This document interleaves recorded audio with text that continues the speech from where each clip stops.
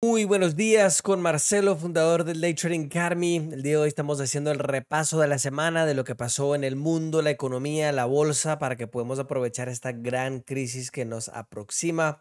Esta semana tuvimos resultados corporativos de muchas compañías, decisiones del gobierno de Estados Unidos que eran las mismas que llegó a quebrar el imperio de Roma y también una guerra que se está escalando también contra los criptos en Estados Unidos. Vamos a arrancar.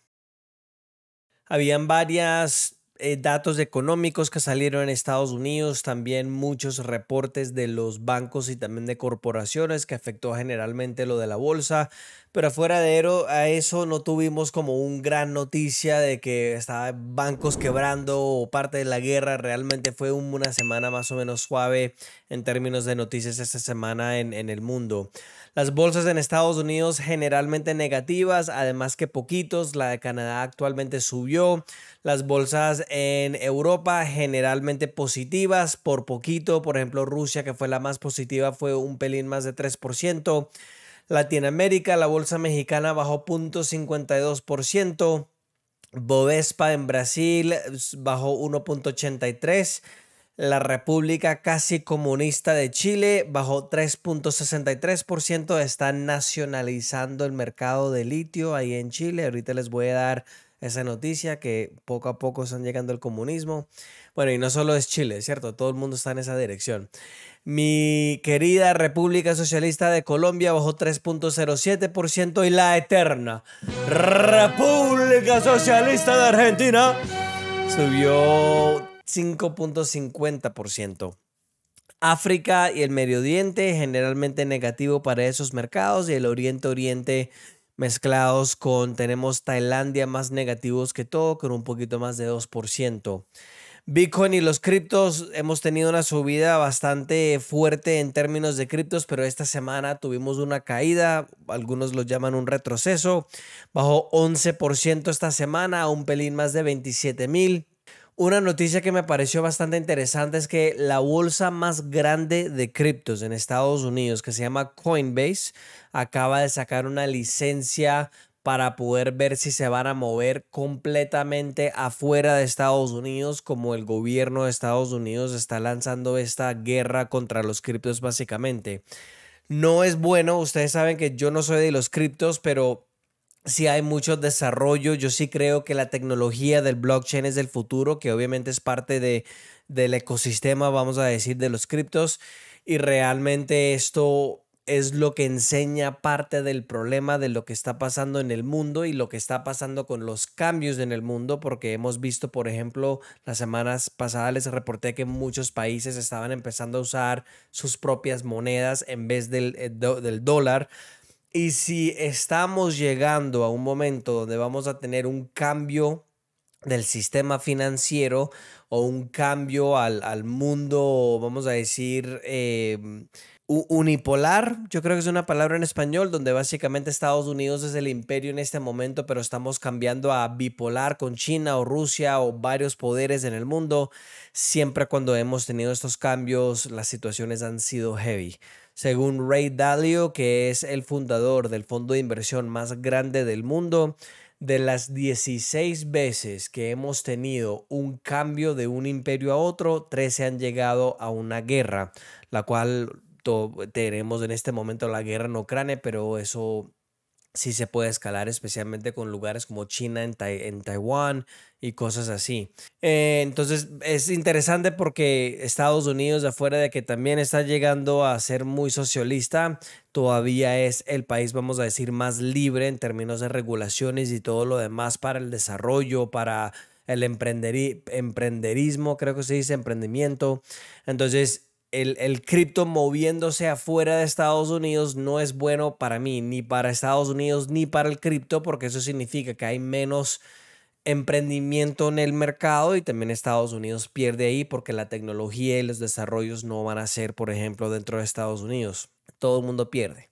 Eh, commodities, esta semana tuvimos un dólar un pelín más fuerte y eso ayudó el tema de los precios de la energía. El petróleo bajó casi 6% en Estados Unidos. El Brent, que es el internacional, bajó 5.69%. Y esto más que todo tiene que ver con las noticias que tuvimos esta semana económicas tienden a ser, vamos a decir, un poquito negativas y las personas se montaron al dólar y subieron el valor del dólar.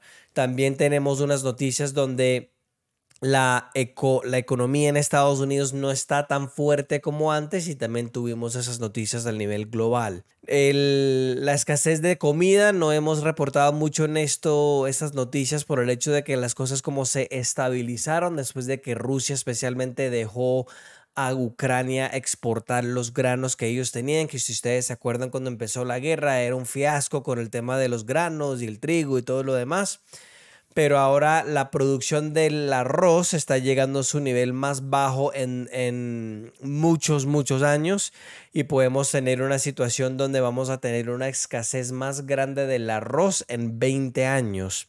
Eso tiene que ver por el clima malo en lugares como China y Pakistán. Si no me equivoco, China es el exportador o el productor más grande de arroz del mundo y obviamente la situación en Ucrania también. El, arroz es uno de las, eh, una de las comidas más importantes al nivel global, donde básicamente casi 3.5 3.5 billones de personas eh, cuentan con esta comida para no tener hambre básicamente y puede ser algo bastante grave. El presidente de Chile, el presidente comunista Gabriel Boric, dijo que va a nacionalizar la industria del litio. Acuérdate que ellos son el, uno de los exportadores importantes del tema de, de, litio, pero esto tiene un efecto mucho más grande y eso es parte de la razón que me gusta hacer estos videos para ustedes, para que puedan entender cómo todo se conecta, ¿cierto? Chile actualmente es el exportador más grande de cobre en el mundo. Entonces, si entra un presidente como estos que quiere nacionalizar mercados, ¿qué crees que va a pasar con la industria de la minería, especialmente el cobre, donde las personas invierten dinero, especialmente del extranjero, cuando él empieza a nacionalizar algunos de los mercados? Muchas personas le va a dar mucho miedo invertir en Chile ahora por el tema de que, bueno, si voy a ir a abrir una mina y tengo que invertir cientos de millones de dólares, él va a nacionalizar simplemente el mercado y quitarme todo. ¿Sí ves cómo funciona? Entonces, esa es la razón que algunos de los comentarios no les gustan a ustedes. Yo lo digo bromeando, pero es real el país casi comunista de Chile, porque mira lo que está pasando al nivel del mercado libre y acuérdate que Chile es el único país de Latinoamérica que está clasificado como el primer mundo el único país en Latinoamérica donde pueden viajar a Estados Unidos sin visa también, por ejemplo. Y ahora están yendo en la otra dirección. Y no solo es Chile, ¿cierto? Estados Unidos está en esa dirección, Colombia, todos esos países que han sido de, de más mercados abiertos, más capitalismo. Nos espera ese, ese gobierno coin para la maravillosa nuevo gobierno comunista que nos espera. El, oro bajó un por ciento a 1984. Ha subido también con el miedo de lo que ha pasado con la economía, que las personas están invirtiendo en estas activos de, de, que son como, se llama safe havens en inglés, como donde las personas invierten el dinero cuando hay mucho miedo en el mercado y en La Plata también bajó un por ciento a 25.17. Noticias banqueras y financieras. Hay algo que se llama CDS, que es Credit Default Swaps, que es básicamente el costo de asegurar una compañía o un gobierno sobre una quiebra. Obviamente en Estados Unidos no debería quebrar, pero muchas personas no pensaron que el imperio de Inglaterra iba a quebrar, que el imperio de Roma iba a quebrar. Nadie piensa que puede pasar hasta que pasa, ¿cierto? Y hemos hablado mucho, especialmente en este canal, los pasos que está tomando los gobiernos al respecto de eso. Entonces, esto tiene que ver con el límite de la deuda de, Estados Unidos, donde los políticos supuestamente no han llegado a un acuerdo y si llegamos a una fecha y Estados Unidos no puede pagar sus deudas, significa que el gobierno se quiebra porque no estás pagando sus deudas. La deuda en Estados Unidos en este momento ha llegado a 120% del tamaño de la economía. Acuérdate cuando un país llega a 100% el tamaño de deuda según el tamaño de la economía, eso trae bastantes problemas.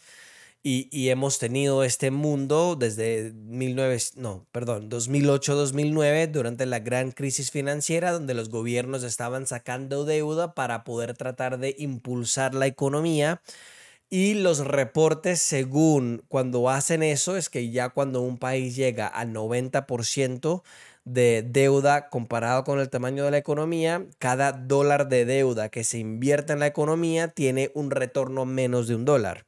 Entonces ya no vale la pena básicamente, pero los gobiernos lo siguen haciendo. El costo de ser, de, iba a decir serviciar, la palabra en inglés la dije en español. El costo de mantener la deuda es 800 billones más o menos, un pelín menos de 800 billones de dólares. Para ustedes en español, si no me equivoco, es 800 mil millones. Pero eso es bastante interesante porque eso es, está llegando a un nivel muy alto y no están bajando el costo o los gastos del gobierno federal. Monta encima de eso el hecho de que muchos países alrededor del mundo ahora en este momento están empezando a usar sus propias monedas cuando empiezan a llegar esos dólares de nuevo a Estados Unidos, que ojo, 70% de todos los dólares que se han imprimido, que se han creado en la historia del mundo, están afuera de Estados Unidos. Entonces ya cuando los países paran de demandar, para de pedir tantos dólares y todos se devuelven a Estados Unidos, ¿qué pasa cuando hay un sobre oferta de un producto? El valor baja y en términos de una moneda significa mucha inflación. Ya Estados Unidos se va a llegar ah, como la República Socialista Argentina. Qué rico. Nueva, una nueva ley o una nueva cosa que están tratando de pasar en Estados Unidos es, están, cuando el, el, Mint es el, no sé cómo se dice en español, pero es el departamento del gobierno que, que hace las monedas. Entonces, si ustedes se acuerdan, hace mucho tiempo las monedas eran cosas como plata, como oro, cosas tangibles. Empiezan a mezclar unos metales que son mucho más baratos y ahora Estados Unidos están pasando una ley donde básicamente pueden mezclar unos metales diferentes. Seguramente los países de ustedes han visto esto, especialmente en los últimos 2, 3, 5 años, que las monedas no parecen tan pesadas, que son plásticas, y eso es el tema de la inflación. Ahora ellos quieren cambiar el contenido del metal por el costo de la inflación de hacer estos metales, donde básicamente un níquel que es 5 centavos en Estados Unidos cuesta más de 10 centavos de hacer y más del doble de lo que vale la moneda. Y esto es precisamente lo que pasó cuando cayó el imperio romano, donde los chinos básicamente estaban recibiendo pagos de de monedas de plata y otras monedas de oro y cosas así, y eventualmente averiguaron que los romanos estaban poniendo 90% de plata o 60% de plata o 30% en vez de 100% de plata. Entonces ya, ya estamos llegando al fin. ¿Cierto? Entonces, prepárate, porque lo rico va a venir. La inflación está bajo en India. la inflación de producir unos productos ha llegado a su nivel más bajo de los últimos 30 meses, que eso es algo bueno. Parece que la inflación en todo el mundo está empezando a moderarse un poquito. Data, la información en el Reino Unido consiguió que ellos están bajando un poquito la inflación también, que llegó a 10.1%, pero el Reino Unido todavía tiene la inflación más alta de toda la región de Europa el banco de Western Alliance en Estados Unidos, que es otro de estos bancos regionales que ha estado en problemas con esta situación de la crisis que tuvimos de la bancarrota del banco de Silicon Valley Bank y los otros en Estados Unidos. Parece que ya se estabilizó el tema de los depósitos. Ellos agregaron 2 billones de dólares de depósitos en las primeras dos semanas de abril. Entonces parece que ya todo está bien con el tema de la crisis de, los, de, los bancos. Eh, la recuperación de la economía en Europa parece que también se está empezando a acelerar con el tema de que el servicio, la industria de servicio vio una demanda bastante alta que subió y, y acuérdate que en los mercados más desarrollados, economías eh, como Estados Unidos, Canadá, Australia, Europa, etcétera, el porcentaje más grande de la economía es el gasto del consumidor. Entonces, cuando una persona gasta en un servicio o gasta en un producto, eso mueve la economía. En el caso de Estados Unidos, por ejemplo, es casi 70% de la economía. Y tuvieron muy buenos números afuera de que la fabricación ha bajado un poquito en, el, en la zona del euro. Eh, ya les comenté del costo de, de asegurar la deuda por si se quiebra Estados Unidos, se disparó a un nivel más alto del récord, ya les comenté eso. Y el valor ha doblado desde el año pasado. O sea, es algo eh, esa, esa, va a ser la próxima crisis básicamente de los gobiernos, que yo pienso, aquí viene, yo pienso que lo están haciendo en propósito por el hecho de que es la única manera que van a mandar a las personas a aceptar el, gobierno coin, el gobierno digital, la moneda digital de los gobiernos, donde básicamente te pueden controlar y supervisar completamente, que es lo que siempre ha querido los gobiernos, ¿cierto? Noticias políticas. Había una prensa principal en Estados Unidos, una compañía que se llama Fox News. Ellos eh, acordaron a pagar casi 800 millones de dólares a un sistema de computadores de las votaciones que se llama Dominion. Todavía tienen demandas de más de 2.7 billones de dólares que ellos estaban diciendo que las elecciones durante las últimas elecciones, no quiero decir el nombre porque después me banean el canal de nuevo. Ellos dijeron que habían problemas con los computadores, que no era real y no lo podían comprobar, entonces le empezaron a demandar las personas. Eh, la administración de Biden está empezando a cobrarle a las personas que tienen buenos créditos para poder ayudar a las personas que no tienen buen crédito. Básicamente una persona que siempre ha pagado sus deudas y ha hecho las cosas bien, ahora tiene que pagar para las personas que no lo ha hecho bien. Y una persona que va a poner un depósito de 15-20% en una hipoteca va a llegar a tener unos costos supremamente altos otra manera que el, gobierno se está metiendo en absolutamente todo en Estados Unidos. Esa es la razón que no vamos bien a nivel mundial. Noticias económicas del gobierno de Suecia está esperando un retroceso, una recesión mucho más grande en 2023, después de que salió unas noticias bastante graves al nivel de cómo va la economía de ellos y la cantidad de casas nuevas que han empezado en Estados Unidos está abajo de 20% desde hace un año. Se empezaron 1.42 millones del año pasado y este año está solo 1.4 y los intereses han bajado un poquito para ayudar al tema de, de, la compra de las casas. Acuérdate que la construcción y el mercado de las casas en Estados Unidos, la propiedad raíz, es más o menos un promedio de 17% de la economía. Entonces tenemos 70% más el 17%, ahí ya está si no me equivoco, con la matemática, 87% de la economía que está enseñando cosas que no son buenas, ¿de acuerdo? Noticias corporativas, Netflix bajó más de 3% en la bolsa después de que ellos anunciaron que no iban a perseguir este póliza estricta de compartir los las claves de las personas. Ellos también no ganaron tanto dinero como pensaron que iban a ganar.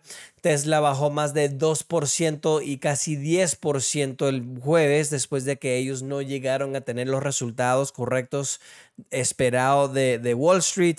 Y también una cosa muy interesante al nivel de México y Colombia es que eh, supuestamente Elon Musk tiene planeado para poder abrir una fábrica de Tesla cerca de Monterrey, México y también dijo al respecto de Colombia que es el segundo país donde están buscando abrir una fábrica en toda Latinoamérica.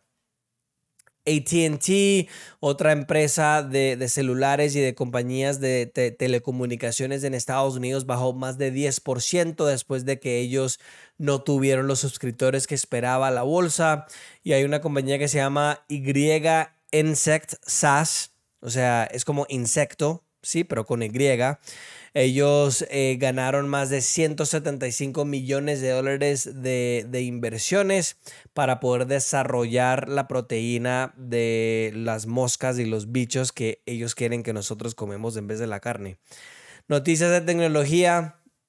Había una prensa en el país de Kuwait eh, ojalá se dice así también en, en, en español, donde usaron una inteligencia artificial para poder presentar las noticias. Muchas personas estaban asombrados que había una muchacha básicamente que fue un computador compartiendo las noticias hasta ellos van a perder los trabajos de la inteligencia artificial. Y SpaceX lanzó por la primera vez la, el cohete que se llama Starship, que es el cohete más grande en la historia del ser humano, que ellos nos cuentan, porque ustedes saben que yo pienso un poquito diferente. El, no habían personas a, bordo del, del, del cohete, pero aprendieron mucho y una de las cosas muy interesantes que estaban hablando, que yo escuché un podcast que tuvo uno de los señores que está en la junta directiva de la empresa de SpaceX, es que ellos dicen que van a poder enviar cosas de un... Vas a poder llegar a cualquier lugar en el mundo en menos de una hora, la mayoría en 30 minutos. Entonces ya no van a tener que mandar esos containers en los barcos, lo pueden mandar en cohetes y simplemente llega en menos de una hora. ¿Te puedes, te puedes imaginar? Que, ah, yo quiero sushi, vamos a Japón, vas en la noche, comes en tu favorito restaurante y regresas el mismo día. ¿Te puedes imaginar eso? Impresionante. No, noticias de inversiones, el, fondo de inversión del Estado del, país de Noruega de 1.4 trillones de dólares están empezando a divertirse un poquito con la idea de producir menos petróleo por el tema de que está pareciendo eh, que necesitan más eh, dinero, pero están diciendo que no van a cortar la producción tanto como lo esperado y los ambientalistas están arrechos por eso. Y noticias internacionales, en Asia había unos calores impresionantes. Llegó a un récord en Tailandia de 45 grados. Bangladesh también vio grados de más de 40 grados, pero ustedes que viven en Estados Unidos, eso es más de 104 en Fahrenheit, 113 en Tailandia y India también está sufriendo de unos calores impresionantes y ustedes eh, yo creo que pueden empezar a ver por ejemplo los extremos que estamos viendo en el clima, ¿cierto? Ahorita mm, en, California llegaron a un récord de la cantidad de nieve que tuvieron en 18 resorts de, de skiing de cuando ustedes bajan por esas como las cositas de los pies por la nieve. Ojalá lo estoy diciendo bien en español. Entonces no es solo que el clima se está calentando, pero estamos empezando a ver esos casos extremos. Mira en Fort Lauderdale, por ejemplo, que les reporté la semana pasada que el aeropuerto estaba bajo del agua y no podían, tuvieron que cerrar el aeropuerto por la cantidad de agua que ellos recibieron. Y en las cositas interesantes esta semana eh, encontraron un barco afuera de la costa de Cartagena, Colombia, de, de, una joyería en un barco de la época de la colonización que vale más, vale billones de dólares. Y están empezando a investigar demandas del gobierno, tú sabes cómo es la burocracia en los países latinos. Esas son las noticias traders de esa semana. Déjame saber si tienen preguntas. No olviden suscribirse acá en el canal y nos vemos la próxima semana. Chao.